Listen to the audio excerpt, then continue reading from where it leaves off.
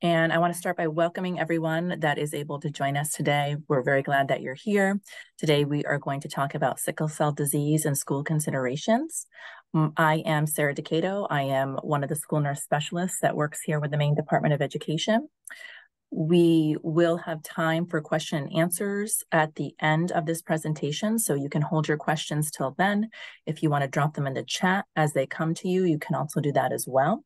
Uh, we are recording today's presentation, as I mentioned, so if you want to go back and reflect on this uh, webinar afterwards, we can do, you can do that, and we will share it out statewide as well. There will be a certificate link available to everyone in attendance for the live session uh, that I will post in the chat closer to the end of the presentation. And without further ado, I do want to turn this over to Shannon Cole, our main presenter here today, so that she can introduce herself. Shannon, thank you for being here.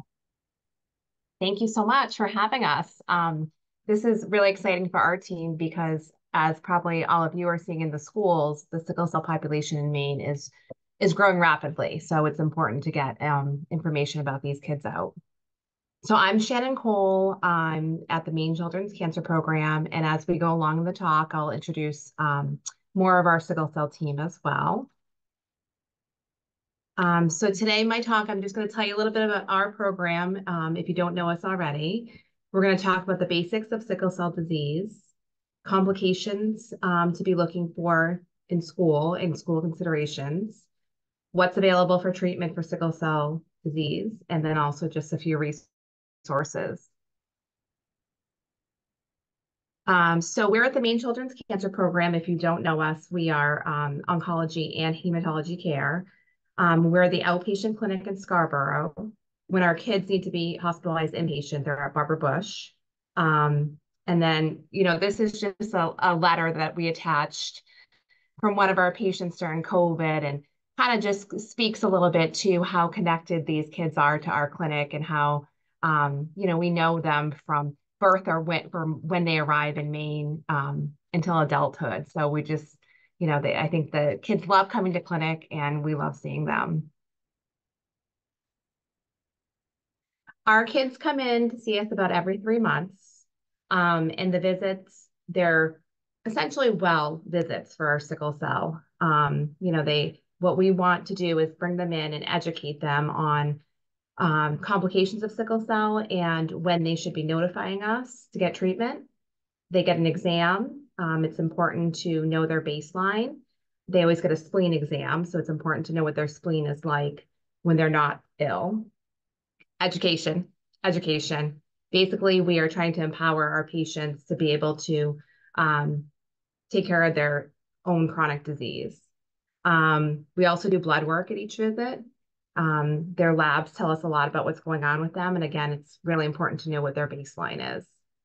We also have a child life specialist here on our team um, who helps a lot with blood draws um, and just working through having a chronic illness. We also have a music therapist, um, a wonderful addition to our team as well. So just to introduce you to the sickle cell team here at Maine Children's Cancer Program, um, the way that our clinic works is we have a primary team model. So this goes for our oncology population as well. So each team is composed of a social worker, a primary nurse, and the primary physician. Um, and we each have a different day that we see our primary kids on. So this is um, Team Wednesday Sickle Cell. So it's um, Dr. Weiss, myself, and Dee Dee Hogan, um, who's our social worker. And because our um, numbers are growing so much, we now have a second team um, taking patients as well. Um, Dr. Z is the physician who may be joining us later for some questions. Emily is another one of our social workers, and then Pam Libby is another one of our nurses. Hi guys, I'm here. Sorry to join a little Oh, late. hi. Hi, Faye. Yay. Thanks for joining. Yeah, I think um, a few members of the team will be on at the end. Um, so if you save your questions, you know, we can all kind of field them. So just to give you an idea of um, where we were with our numbers and where we've been um, going. So before 2015, which is about the time that I um, I started taking care of sickle cell patients here. When I first started, there was a need for um, a hematology nurse in addition to oncology um, population. So we only had a few patients, so it's kind of no big deal. We had about 14. Well, now we have about 75 patients. Um, we've had approximately 27 new patients since last January. So the numbers are just growing, um, you know, with all the new Mainers coming in. And then a lot of our patients um, that we already have are, you know, having siblings.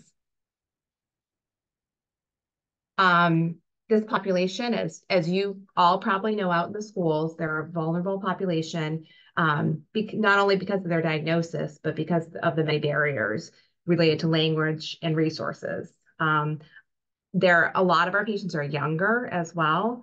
Um, they, you know, like you can see all the languages here. So we, we need interpreters for our visits. Um, we love to have live interpreters, but we don't always have that. So that's another barrier is having to use an iPad interpreter isn't always the easiest. Um, and then they, a lot of them have transportation needs too. So our social workers are a real important part of this process, um, getting these patients to the clinic and just helping them meet their needs. Um, another thing just to think about with this population too is that you know they're coming from Africa. It's it, medical treatment was different there for sickle cell disease. Um, a lot of the families have a hard time accepting this diagnosis. Sometimes we meet families um, that didn't know that their child had sickle cell disease, and the child might be five years old now, and they had been well. So sometimes it's really hard for the families to wrap their head around this, that their child looks well, but they have this diagnosis of sickle cell disease because what they've known of sickle cell disease has looked like bad outcomes. You know, I think um, in Africa, they where they were, they weren't really looking at all the preventative care stuff. We're here. Our model is we're trying to prevent what all the um, the bad outcomes that we know can happen from sickle cell disease, and we do have resources to do that. So sometimes with these families, you know, they may not believe the diagnosis. Um, we are just trying to establish trust and um, teach them the reality that we do have preventative care and that um, their child can have sickle cell disease and be well. Um, so since we've been having this growth at MCCP, we um, have been trying to think about, you know, what, what do we need to do to get the word out that we have all these sickle cell patients and get this community to know how to take care of them. Um, so over the last few years, we've developed some care algorithms that are used in the emergency room so that these kids get a standard of care treatment. Um, they have a high risk diagnosis flag in their chart. Um, we've changed some of the access to their their care. So previous, we recently just did a project where um, they previously had to have an ultrasound done yearly and it was done at Maine Med. And a lot of patients were missing their appointments and no showing. And a lot of it had to do with transportation, and it was just a different location than where our clinic is. So we've changed the location to that, and it's worked out really well. And we've had, um, you know, patients actually showing for these really important exams. We've been doing a lot of community outreach. Um, we visited, um, you know, St. Mary's. We have a large population in Lewiston. The B Street Clinic takes care of a lot of our patients. So just creating a partnership with everyone in the community that we know is seeing these patients as well. And of course, all of you school nurses are a huge part of that as you're seeing these kids daily. Um, our patients all have a sickle cell care card. We created this a few years ago. Um, this is what it looks like, just a kind of a brief view of it. But uh, the idea is that they have a card in their wallet that identifies them as a patient has sickle cell disease. So when they get to the emergency room, they should be presenting this card to the emergency room staff so that they're seen quickly and um, the providers know to contact our office because we want them to get you know a certain a certain standard of care.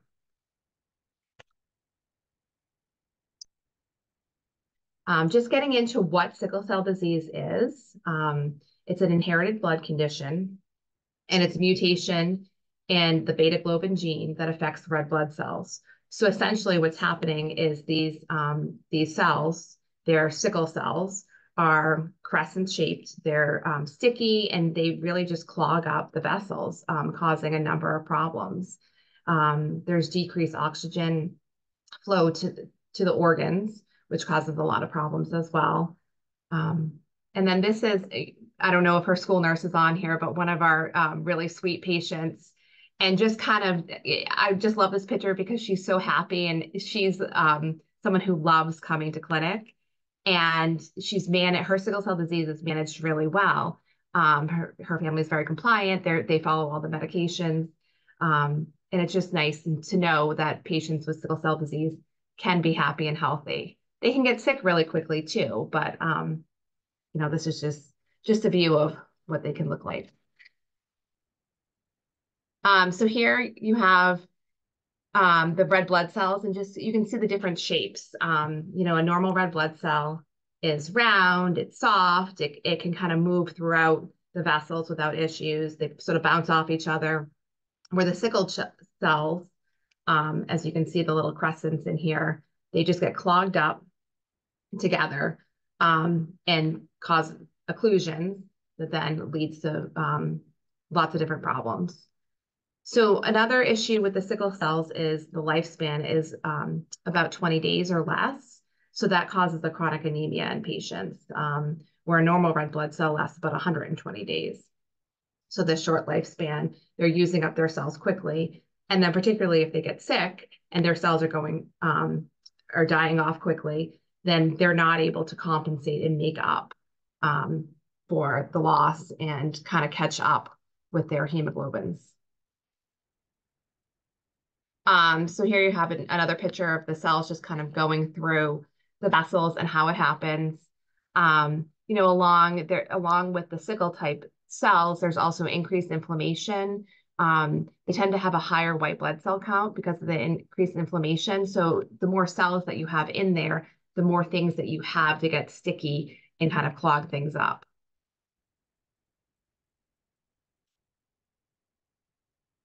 For our patients with sickle cell disease. So sickle cell disease is the most common genetic disease in the US. Um, generally, we see it in Black or African American births, but there are other um, individuals affected as well. So just important to know that. Um, and as we know, it's a genetic mutation. So um, here's just the quick, you know, view to see what it looks like. You have two parents with sickle cell trait um, can have a baby with sickle cell disease. So you might have two people who don't realize that they have sickle cell trait, and then suddenly they have a baby that has, um, you know, SS, which is the full-on sickle cell disease. Um, also, you know, to think about too, you know, gen genetics is so interesting because we have families that have four children and have three kids affected and one kid not affected, or have four children and have only one child affected. Um, so each child, you know, has that that percentage of a chance of being an SS. Also to know, um, this was a question that came to me.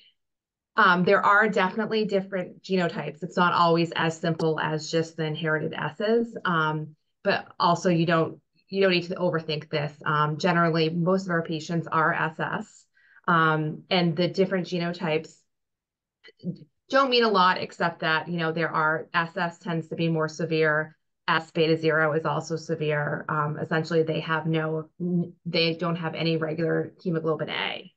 Um, SC is another type that we see that is a little bit milder as well as um, S beta positive.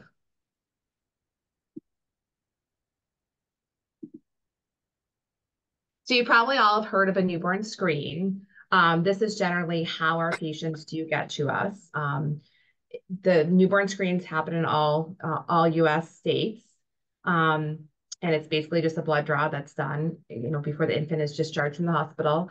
Um, and when a patient has a positive sickle screen on their newborn screen, we'll get the the newborn screen for a patient that was born in Maine. Um, and then the process goes that we contact the PCP. Um, and the the main purpose of this newborn screen is early intervention. Um, we want to initiate penicillin because these patients, um, their spleen just doesn't work the same way. Um, so we want to protect them with penicillin. Um, we also see patients when they're new Mainers. So the new Mainers get to us generally by re a referral from the PCP. So the PCP will have um, screened them and they'll send them our way. Um, and then also we have patients that just present, maybe they're a new Mainer, they just present to the local ER in crisis. And that's how we hear about them. And then we get them into our clinic and um, start following them. All right, I'm just going to get into now sickle cell complications. Um, there are many. The ones that you probably hear about most often are um, pain, fever and infection, acute chest syndrome, stroke, um, aplastic crisis, splenic sequestration, priapism, and then we also should think about vision ophtho issues. Those are the ones I'm going to really focus on because um, I felt like those are the ones that you're most likely to see signs and symptoms of at school. Um, but as you can see from this picture here, essentially every part of the body is affected from sickle cell disease because of the decreased um, oxygen that gets distributed throughout the body. So any any part of your body, any organ that needs blood and oxygen, you know, is is getting less than they should be. So vaso-occlusive crisis. Um, so pain um, is caused by sickle cells becoming trapped and getting clogged up in those vessels. Um, and it's interfering with the normal blood flow and causes intense, serious pain for these patients. It can occur anywhere. Um, we often see it in the back or extremities. And with pain, it's just so important to know that these patients experience real pain.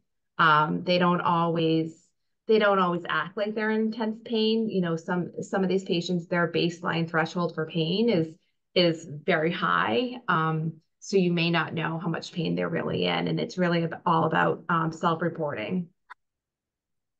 Um, there is really no reliable way for us to measure pain with labs. Um, so again, we just, you know, these patients, we know that sickle cell causes um, extreme pain, and it's important to, um, you know, listen to patients as they're reporting that. So the management of uh, VOC, fluids fluids are really important in sickle cell disease um, you know when a when a patient starts feeling a, a pain crisis come on it's mild and they call us we're telling them to hydrate to be drinking a lot of fluids um, to rest. Warmth is great. Um, you never want to do cold. Even when um, even even if like you have like a sports injury you don't want to put ice on them um, you know because you want to be warming them up and not having those vessels um, constrict. Um, so for pain medications, we start with ibuprofen for mild pain, um, and then oxycodone. A lot of our patients um, actually don't even have oxycodone at home. Um, you know, we kind of we do we do kind of um, monitor the patients if they're not. We used to prescribe oxycodone to all of our sickle cell patients, and then a lot of them were not needing it. You know, they were being controlled with ibuprofen. So we sort of just measure it, you know, if they are starting to have more pain at home and could benefit from, from oxycodone, we do add that into their um, home prescriptions. Um, but there are, again, some that do need it more often.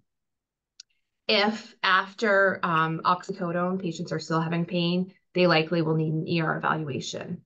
We do try to manage um, pain at home as much as possible by early detection and, and, and intervention and getting right in there. Um, but if you know if it if the pain is is out of control, they really will need to go to the ER. Um, with ibuprofen, also, you know, it's really important for our patients. We're always telling them that if um, if they're taking oxycodone, they should also be taking ibuprofen as well. Ibuprofen has the anti-inflammatory properties, and you know, like sickle cell does have the inflammation um, with it as well.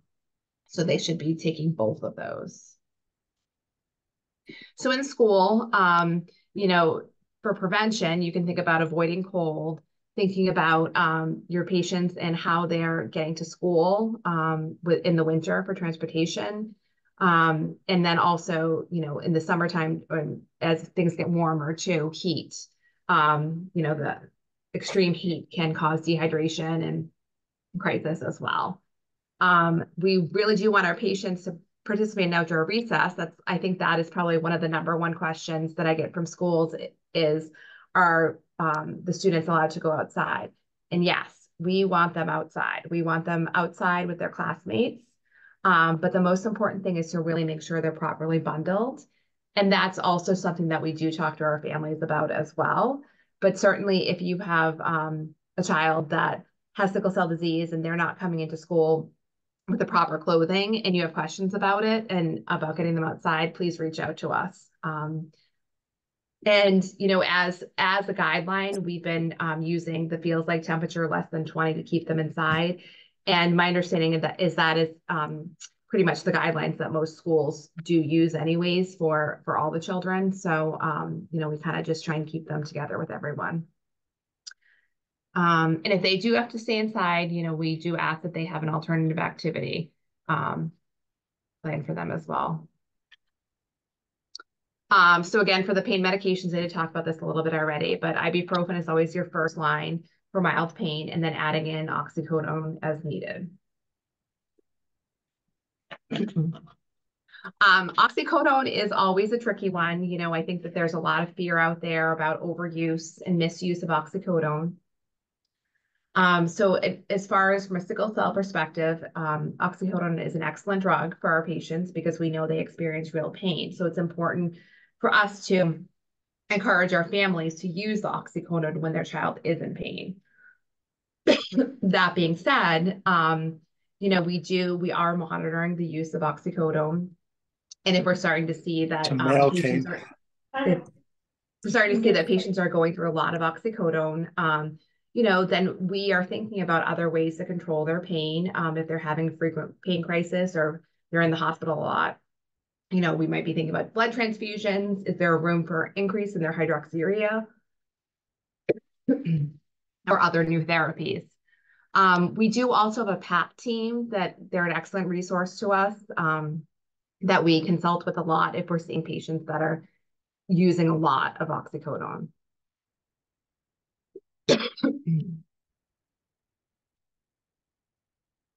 um, infection sickle cell disease. So um, we know that patients with sickle cell disease are at an increased risk of infection because of their spleens. Their spleens don't function properly. 90% um, of infants have lost their splenic function by the time they're two years old. So they're at high risk for the pneumococcal infection.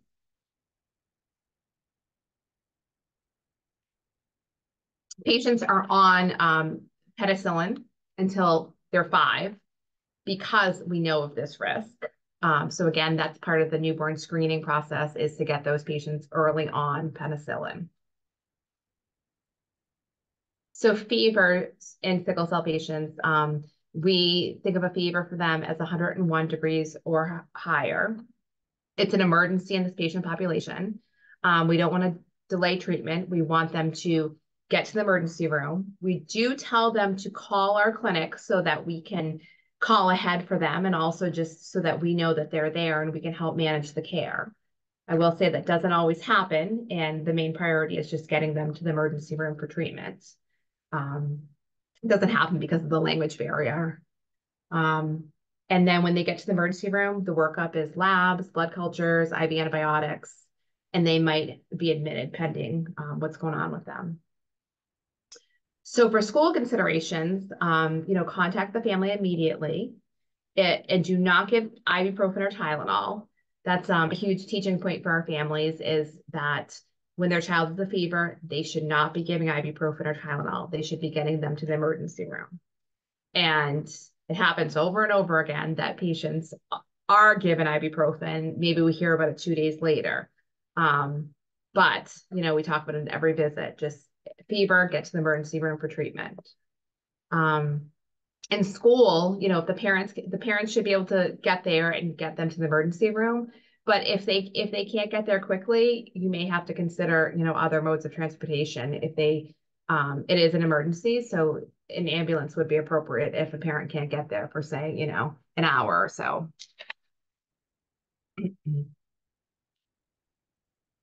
Acute chest syndrome so acute chest syndrome is basically a pneumonia in a patient with sickle cell disease. Um, you know, the difference is our patients with sickle cell disease can't compensate the same way um, as a patient that has normal blood flow and normal oxygen flowing throughout them. Um, so it's a, you know, it's a pulmonary infiltrate on a chest x-ray plus a fever or a change in respiratory status. So you're going to be looking for chest pain that might spread down to their belly, um, fever, cough, increased respiratory rate or shortness of breath, congestion, um, and they'll need evaluation. So, you know, this is, you know, they might have a mild cough, but you're looking for a little bit more than that. Um, or if they do have like an ongoing cough um, that they can't seem to shake, I think that would be um, that that would validate a um, evaluation as well. So for acute chest syndrome, um, they likely will have a hospital admit, um, and their treatment will be antibiotic therapy and supportive care. Might be oxygen. Um, it, we do often see patients with acute chest syndrome have um, a trip to PICU too. I mean, it, it does get very serious. So stroke is a risk of sickle cell disease, or sorry, sickle, stroke is a risk for sickle cell disease. Um, so individuals with sickle cell disease, they're at a high risk of stroke. Um, about 8 to 10% of children with sickle cell disease will have a stroke. And one of the things that we do um, as part of our preventative care is a transcranial Doppler ultrasound. And this, um, this measures their risk for stroke, and then we can put some preventative care in place um, to try and prevent a stroke. Um, and then that's just a picture of the of the testing that we do. It's um, pretty non-invasive and it's done yearly. As far as looking for a stroke, um, you're thinking about any kind of neurotype symptom besides a mild headache. Um, you know, and you can think about the similar approach to adults using the FAST acronym, the face drooping, arm weakness, speech difficulty, um, headaches can be a sign as well. Um, you know, a headache that maybe doesn't doesn't doesn't have any relief after a little Tylenol or ibuprofen. But the rule of thumb is that any new um, neuro type symptom does require urgent evaluation. School considerations with stroke. Um, and I will tell you that we do um, we do have a patient who recently had a stroke and um, her school nurse and I are learning about, you know, all the things that need to be in place to get her um, back to school. So it does get pretty complicated. Um, so they, so a, a child who's um, had a stroke or has been identified as high risk, and that would be based on the transcranial Doppler ultrasound that we do yearly. Um, one of the treatments that we do is a monthly blood transfusion. So, I mean, that would be one day a month that they're not in school. So just thinking about the school absence. Um, and then also just thinking about neurocog defects for these patients. Um, whether we know that they had a stroke or not, there's um, a lot of patients, I believe it's about 22% of patients that have SS disease may have had a silent stroke that we don't even know about. So it's just really important to consider learning needs and neuropsych testing for all children with sickle cell disease. As I mentioned, um, patients with sickle cell disease do have a chronic anemia just based baseline um, for their disease. Um, and it's because of that short life of the sickled cells. They um, they might tire with activity, so just knowing their baseline. And most of these kids do know their baseline and generally want to um, be involved and jump in to do things. Um, but also just having um, on hand maybe a, a, alternative way for patients or for um, students to participate.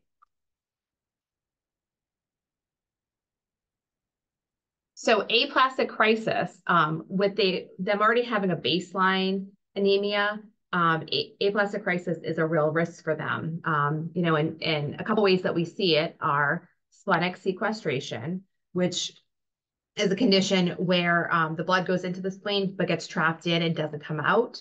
So everything's getting kind of clogged up in there, causing anemia and sometimes a thrombocytopenia. Um, it, it can be fatal. It happens quick and it can be fatal.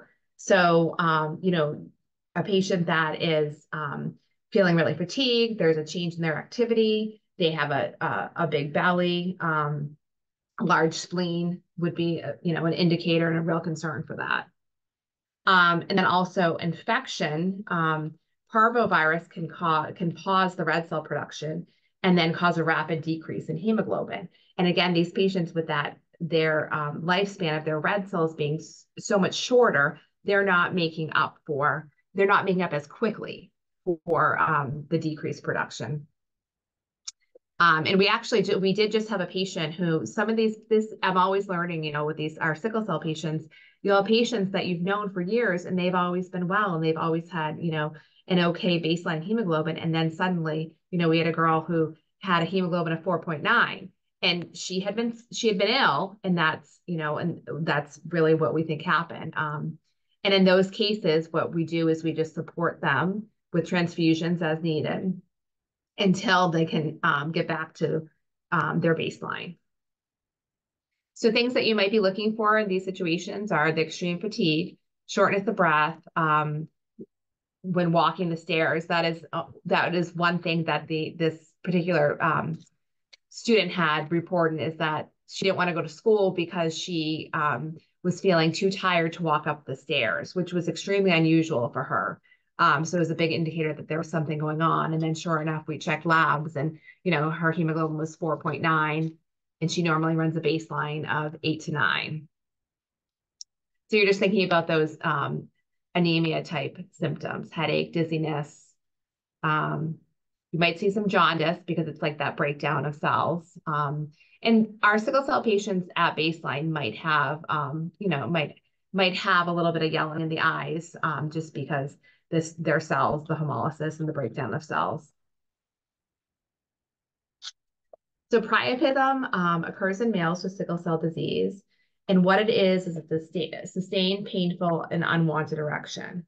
Um, you treat this like a pain crisis with supportive care. Um, I think there's a lack of awareness about this sickle cell related complication. And, you know, obviously this can be really embarrassing and difficult um, for for a student to bring up, but um, just know, you know, if this does happen, it is a it's a very normal and seen complication of sickle cell disease. Um, you know, you want to increase fluids, um, have them urinate, treat them with oral pain medications because it can be really painful um, warm bath, exercise, you know, and certainly if in a school situation, this they would probably, um, you know, call to the parent to pick up. Um, but if it's lasting two hours or more, it needs evaluation, um, and they would be seen by urology in the emergency room to try and um, try and try and fix that. Um, vision changes are something to think about in our sickle cell population as well. Um, these patients are at risk for sickle cell related retinopathies. And they get a yearly evaluation by ophtho as part of our like preventative exams. Um, we start this at school age. So just thinking about any changes in vision um, that, that you know we should know about as well. Um, dehydration, um, it's important to be thinking about dehydration and patients with sickle cell disease. So um, if you have a patient who has vomiting and diarrhea, they really need to be monitored closely for dehydration just because of the, um, you know, the, the dehydration really can affect a um, crisis. These patients may have increased urination, bedwetting, increased thirst, dehydration. Um, they have difficulty concentrating their urine as well, so um, just more frequent urination. In school, you want to think about them having unlimited access to the bathroom, and then also water available for dehydration. And um, I did already mention about the increased need for fluids and heat or with exercise as well.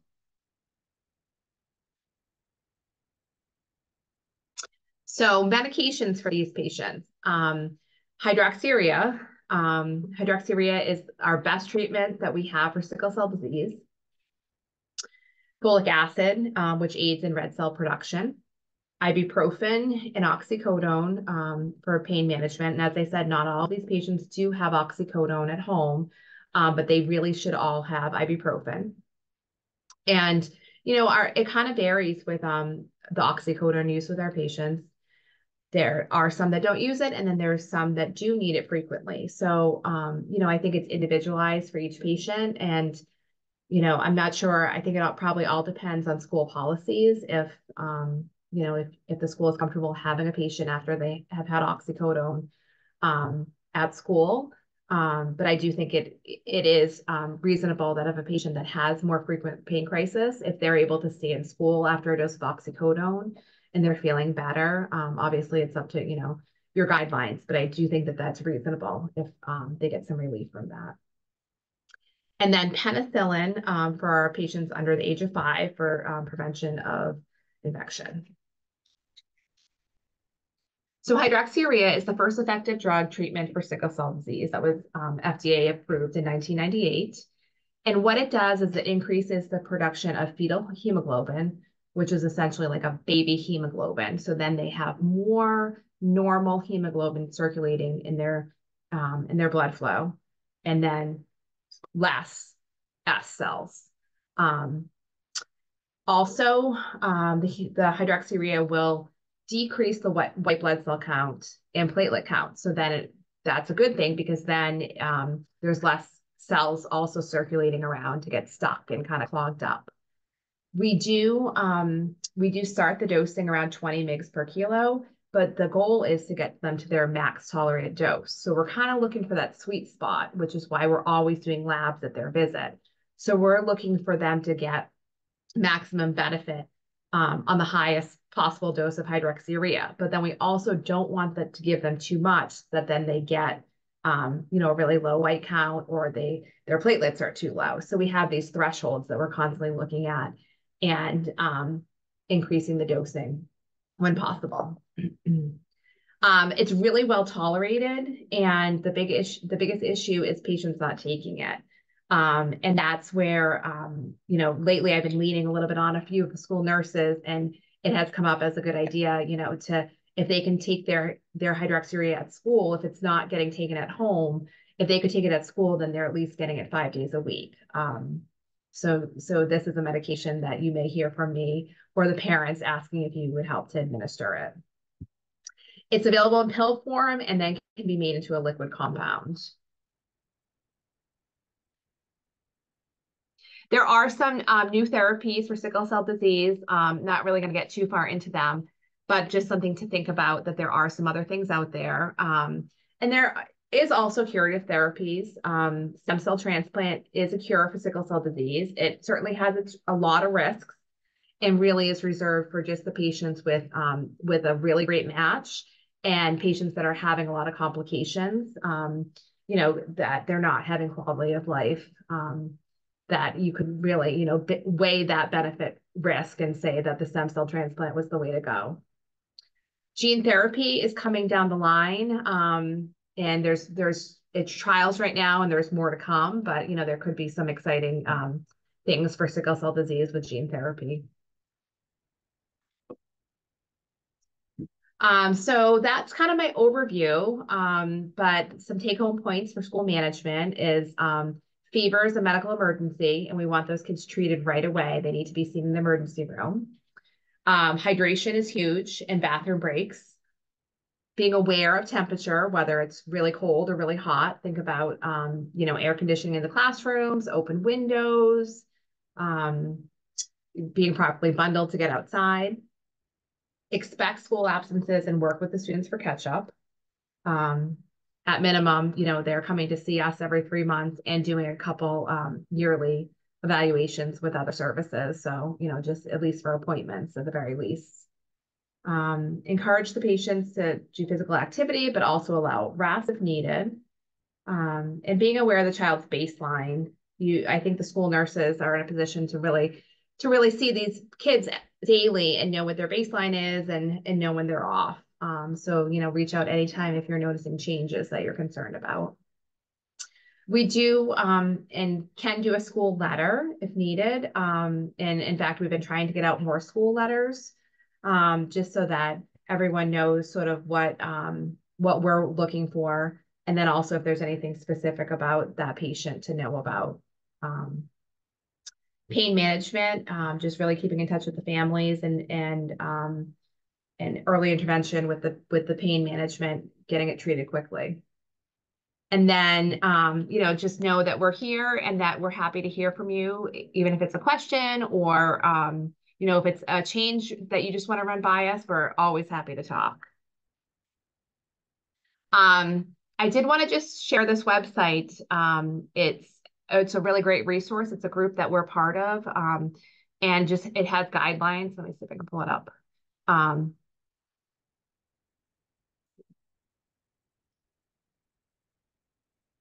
Oops. Oh, okay. I don't know if I can get it. Um, but it's just it's it's a good one to kind of have in your back pocket if um, you had a quick question that you just wanted to look up. There's also some school resources on that website as well, so I can share that.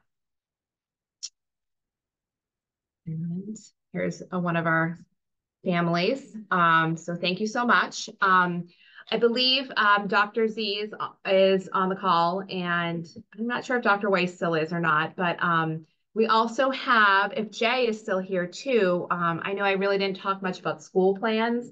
I'm kind of your go-to for any sickle cell related questions, but we do, Jay Westra is our um, education liaison for, for Maine Children's Cancer Program, so our oncology population. Um, so if you have questions, you know, about different plans or whatever, he might be able to help answer those. Um, yeah, so I can open it up to questions. Thank you so much, Shannon. That was wonderful. Excuse me. I do have a few questions in the chat that I just want to make sure um, you're able to answer, members of your team. And one was came up when you were talking about um, ibuprofen um, as the first line of defense. And I heard a couple of different things that I just want to make sure we have clarity on. So uh, you talked about ibuprofen and fever, and then you also talked about ibuprofen and headache. Can you talk mm -hmm. about those two pieces, and then I'll go on to the next question. Um, yes. So let's see. So for fevers, do not give ibuprofen. Um, so we we like to resort, we don't want to mask the fever. So if a patient has a fever, we should hear from, we should hear from a patient. Um, and we would direct them to the emergency room. Um, and for headache, it is you can treat, you can treat headache pain with ibuprofen. But if it's a headache um, and a severe headache, we should hear about that. And if it's if there's no relief after ibuprofen, we should hear about that as well, just to decide if if further evaluation is needed. Is that kind of what you were thinking about?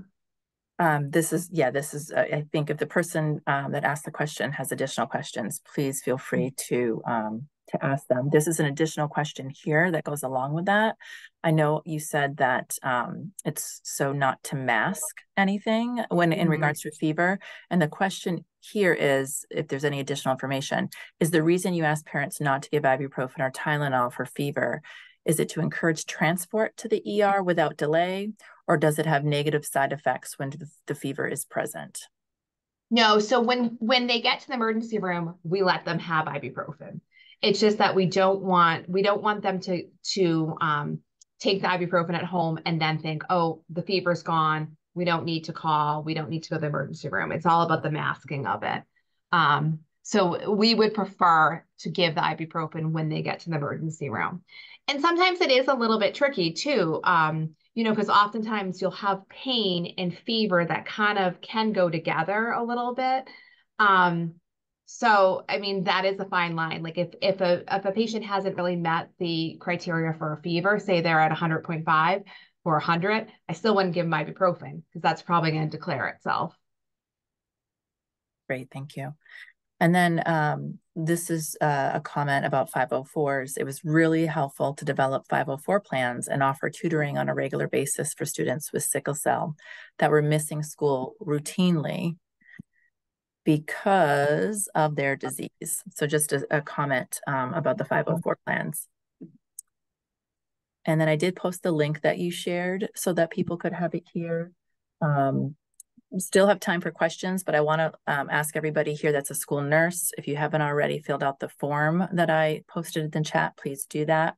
I'm also going to post here momentarily um, the certificate for contact hours so that um, you have that as well. But other questions, feel free to ask them or put them in the chat. Yeah, and um, say, I don't know if you have anything you want to add or Jay, please jump in if there's anything that we you feel like we can expand upon. Um, no, I mean, I, I think you did a great job and you like covered a lot of ground, which was really wonderful. Um, but yeah, I just wanted to echo that we're always here and always happy and kind of want to hear if, if things are going on for our patients, just so we can kind of stay in the loop and um, help provide guidance if that's helpful. Thank you so much. Hi, Maria. Hi. Hi, hi guys. I miss you all. Um, I just wanted to say that uh, so I work at a school, um, and getting the letter from you guys was actually kind of what prompted everything for us. Um, I, I'm I'm kind of concerned that there could be other students in my school that have sickle cell that I just don't know about. Um, but Mm. I assume you guys encourage them to tell the school nurses. Yeah, and that's actually we Yeah. This summer, like in the summer, kind of leading up to the school year, we try to check in to make sure we have like updated contact, like, you know, know what school they're going to be at and um, get their permission to reach out. Okay. Yeah, because I have a third grader, and honestly, this this is the first year that we've put a plan in place. Um, so I'm just like happy that that letter came because I don't know that we would have it would have happened if we didn't get that. Oh, that's great. Yeah. Um, yeah, I will say we've had a little bit more of an effort to um to ask the families where they're going to school and would they like us to send a letter. And most of them do say yes. Um, you know, occasionally there'll be one that'll be like, no. um, but we, you know, that's a good point to like really prompt them like how important it is for the school nurses to know Yeah. have yeah. disease. Yeah. Because it's like I said, he's in third grade. So hmm Yeah. What school are you at? Saccarappa in Westbrook. In Westbrook. Oh, okay. Westbrook. All right. Great question. Awesome. Thank a- you. This has been great. I have Thank you. another another question here. Um, as a school nurse, how can I persuade my parent to seek medical evaluation for a fever? I have a parent that doesn't understand the risk. He doesn't want to pick his student up from school at all. Do you have any pointers or words of advice um, that you could share with us? Um, yeah, I mean, that's a tough one. It kind of goes back to that whole thing of like sometimes these families don't want, um, yeah, they they don't want to seek care and they don't really they think their child as well. Um, yeah, I mean, I think just like reinforcing like how important it is and the risk of infection is huge. And um, yeah, and I think also in in your case as a school nurse too, I think that probably you would unfortunately have to say that if they can't come pick them up, like you know that the direction is to, you know, get them to the emergency room to be treated, that they'll have to go by ambulance. Um, yeah. What And then we, Sai? we have we have a question. Oh, did you want to add anything? Yeah. Oh no, I just I I um I, I struggle with that too. I think we certainly all, all have seen those families who have um have been more resistant to care, and I think that can be multifactorial. And I I do wonder sometimes about like you know how easy is it for the parent to come. You know, transportation is always um a common issue for um for many of our families, and so um, I think troubleshooting around that Yeah. potentially We did have a patient that um I remember the family was really concerned about insurance um and getting a bill from the hospital. So I don't know, yeah, like maybe just like kind of sorting out what what the barrier is and how can we help them. Great suggestions. Um, and then we have a question, can we contact you for letters if we haven't received anything from the parents? Mhm. Yeah, I mean, yes, definitely. Obviously, we'll have to in some form get a consent um from the families, but yes, please do. And did you have a slide there, Shannon, with your contact information, or do you want to drop it in Um, there? Yeah, why don't I drop it in the chat? That would be great. The best way probably is really just to call our clinic. Um, and I am here most days, but if I don't get back to you that same day, it'll be within a day or two. Great, thank you. And I have dropped the certificate of attendance in the chat. I have dropped the data form for school nurses in attendance. Um, are there any additional questions that people have before we sign off for today? Um, I just saw another question that popped in about um, for fever evaluations, do they have to go to the ER or could they go to the ConvenientMD for a free or reduced visit? Um, I have found, I don't know what your experience has been, Shannon, is that um, a lot of the local urgent cares, if they are aware of a diagnosis of sickle cell, they often uh, recommend that families go to the um, to the ER um, just because of the potential complexities of of management. Mhm. But- Yeah, I mean, I don't think the ConvenientMD would be able to do the IV antibiotics because that's a big part of it is Yeah. getting, you know, it's really important to see that what their labs are and then um, blood cultures and the antibiotics. So they just wouldn't get the same level of care. There's been a rare occasion where I think PD Clinic has done a fever visit for us before. It hasn't happened in a long time, I think with COVID and all that. But if they present there, I think that there's been a, you know, once or twice that that's happened.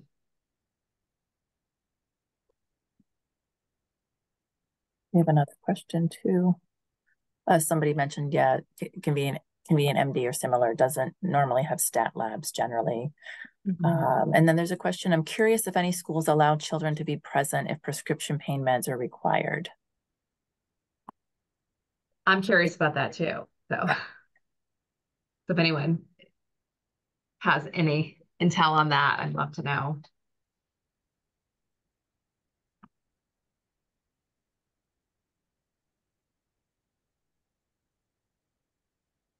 Anybody Um, wants yeah. to to. Yeah, um, and I do think, you know, I, I it's not going to be for the kid that um doesn't often take oxycodone, you know, like it would be I think it would be um a child that has more frequent pain crisis and they're needing more oxycodone. Um if this is if if it's a patient that, you know, needs it occasionally, that wouldn't make sense, but I think it's reasonable for a child that would be missing a lot of school because of um oxycodone use.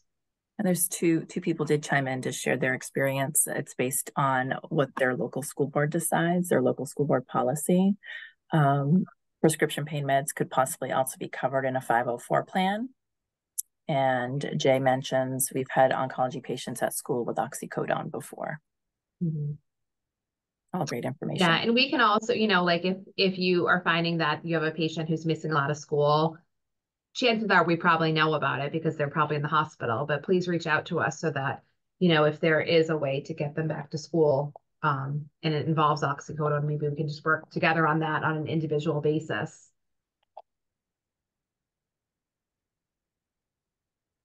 Great. Thank you so much. We so appreciate you all being here. And I just wanted to add one last thing. Emily chimed in and just said school board policies could be changed if needed with additional education for the reasons it might be needed. So everybody should keep that in mind too. If you don't have a policy that supports such, um, there's always the opportunity to adjust a policy accordingly. So thank you so much, Shannon, and the rest of the team here at Health. We really appreciate you coming and sharing your knowledge with us. There's been a lot of feedback about how positive uh, the information sharing has been. Um, and those of you on the call, please don't hesitate to reach out to this team should you have additional questions. We appreciate you being here. So thank you so much. Thank you. I really appreciate it. I hope to hear from you guys.